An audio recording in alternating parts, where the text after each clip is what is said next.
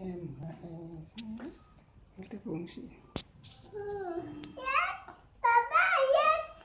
lagi direkam kan lagi pakai MHS nih. Lagi demam pakai MHS sama extra food minumnya ya. Nih.